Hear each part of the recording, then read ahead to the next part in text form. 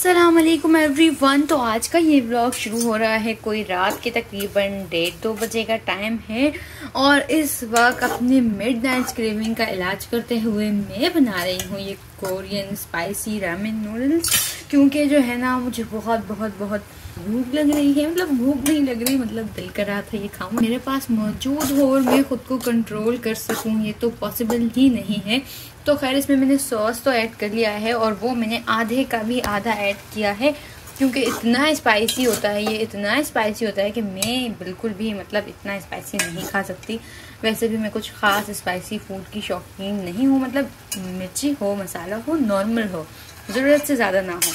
खैर भी जो है ना ये स्पाइसी रेमन अब से कुछ देर में तैयार हो जाएँगे और इसको जो है ना फाइनल करके मैं आप सभी के साथ शेयर करती हूँ, बल्कि ये रेडी हो चुका है, अब मैं इसे निकाल लेती हूँ। इसका लास्ट पार्ट जो मैं ऐड करती हूँ, इसके लास्ट में ही।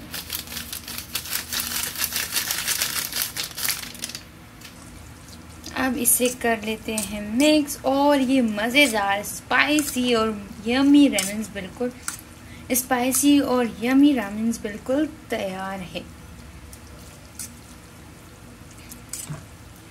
और इसके अलावा जो है ना, मेरे पास चॉपस्टिक्स भी पड़ी है। मैं सोच रही थी कि इसे चॉपस्टिक से मैं खाऊं, मगर चॉपस्टिक से खाने में इतनी स्ट्रगल हो जाएगी ना, मुझे मतलब इंजॉय करने से ज़्यादा टाइम ना स्ट्रगल में निकल जाएगा। तो इसलिए जो है ना, मैं इसे इजी अपना काम बना रही हूँ और इसे फॉल्क से ही खाऊँगी, क्योंकि जो है ना चॉपस्टिक मेरे लिए बिल्कुल भी नहीं बनी है। उससे बड़ी मुश्किल होती है मुझे। खैर तो ये रहे, बिल्कुल रेडी है। अब मैं चाहती हूँ, सुकून से एंजॉय करती हूँ। और ये थोड़े बहुत गिर भी चुके थे, पकते हुए, इससे जस्ट इग्नोर करें। और बस इसके बाद अब मुलाकात होती है आपसे सीधा सुबह। आज के खाने में हमारे पास बहुत सी वैरायटी है, जिसमें है पालक पम्पकिन और है भिंडी। पड़ोस से खाने तो आते ही आते थे। अब आया है पड़ोस से ये धागों का डब्बा। क्योंकि मुझे इस ट्राउज़र का ना मैचिंग कहीं पर भी नहीं मिल रहा है। मतलब बाज़ार, हर जगह मैंने पूछ लिया।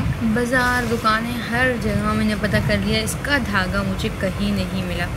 तो जो है ना अब मैं देखती हूँ कहीं और से मंगवाती हूँ पड़ोस से मैंने मंगवाया मगर वहाँ भी मुझे ये धागा नहीं मिला। तो ये बॉक्स ही उन्होंने भिजवा दिया कि खुद खुद पसंद कर लेना। ये पैसे किसके? मेरे।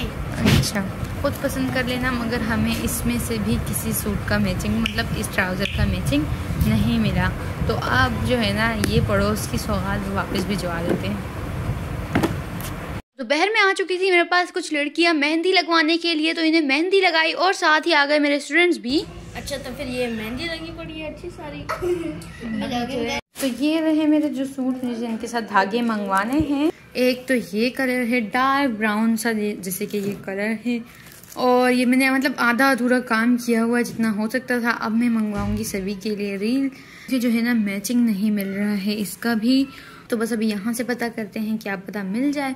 एक इसके लिए, एक इसके लिए और एक अपने आधे ट्राउज़र के लिए जो मैंने पड़ोसी से भी मंगवाई थी, मगर वहाँ भी मैच नहीं हुई। तो ये काम तो आहिस्ता आहिस्ता जारी रहेगा। मतलब जब जब मैं फ्री होती हूँ, मैं जल्दी से यहाँ आ जाती हूँ।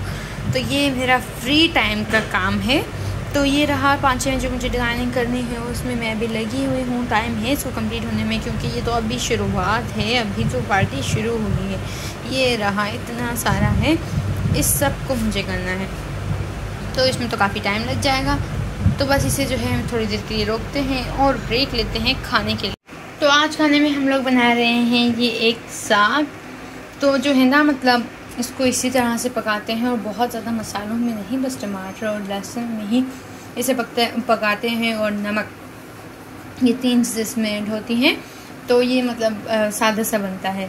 तो आज खाने में बनेगा ये मज़ेदार सा साग और उसी टाइप का एक ये साग भी है। और इसको बनने में बहुत टाइम है। नहीं नहीं, बल्कि ये बन चुका है। बस इसको जो है रोटी या चावल के साथ ऐसे खाते हैं। खैर अभी थोड़ा सा पानी है इसमें इसको थोड़ा और ड्राई करेंगे और इसे थोड़ा सा खुश कर लेंगे। तो बस इसी के साथ आज का ये ब्लॉग में ही एंड करती हूँ। फिर मुलाकात होती है नेक्स्ट ब्लॉग में। अल्लाह हाफिज़। तो ये रहा ठंडा ठंडा हलवा कद्दू। बस इसे जो है मैं गरम करती हूँ। पम्पकिन यार हलवा हलवा बोल देती हूँ मैं बार बार इसको pumpkin spicy wedge pumpkin wedge pumpkin spicy pumpkin इसके इसकी रेसिपी का लिंक आपको आई बटन पे मिलेगा। आई बटन पे क्लिक ज़रूर करें इसकी रेसिपी के लिए। और मैं दिखाती हूँ साग। दोनों बिल्कुल फाइनल हो चुके हैं। ये रहा तड़के वाला साग। बस इसको जो है ना रोटी या चावल के साथ नहीं खाते। इसको हम ना मतलब वैसे ही खाते हैं।